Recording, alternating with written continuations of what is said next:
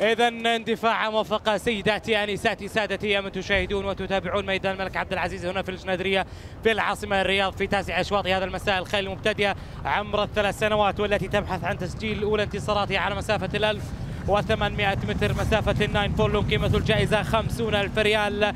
تبحث عنها هذه الأسماء. اندفاع جماعية في هذا الشوط يتقدمهم.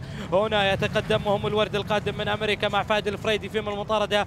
من الجزيل أيضا وكذلك هنا يظهر في المرتبة الثالثة War of Courage كذلك. يلا عسى خير في المرتبة الرابعة. ومن المسار الخارجي هنالك تتر فلاج ومن المسار الداخلي ابن هضبان وسمحة الخاطر. اندفاع جماعية تقدمه الجزيل في أولى مشاركاته في هذا الموسم مع ريان طويرش الذي يقسم الخطوة. انقضت نصف المسافة في هذا الشوط.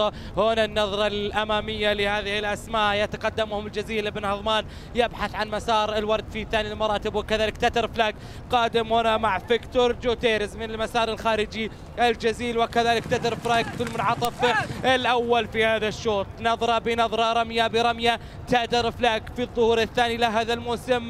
وأيضا الجزيل في الظهور الأول قبيل المنعطف الأخير تحسين المواقع وتغيير المواقع من قبل خياله والبدء بالاستحثاث من قبل ريان طويرش. ولكن فيكتور جوتيرز نظرة إلى الوراء مع تتر فلاك الأزرق قادم. وسع الفارق الآن بفارق طولين عن أقرب منافسيه القدوم من قبل مبهم. ولكن لكن تدر فلاك لعبة الأطوال قادمة.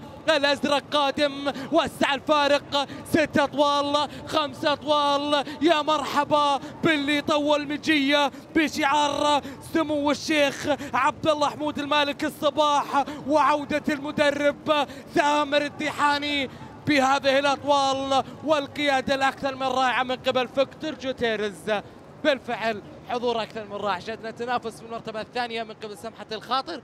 وكذلك خرباش. ولكن بحضور تاتر فلاج ما شاء الله تبارك الرحمن. تاتر فلاج بطاقة الفائز معنا في هذا الشوط بشعار سمو الشيخ عبد الله حمود المالك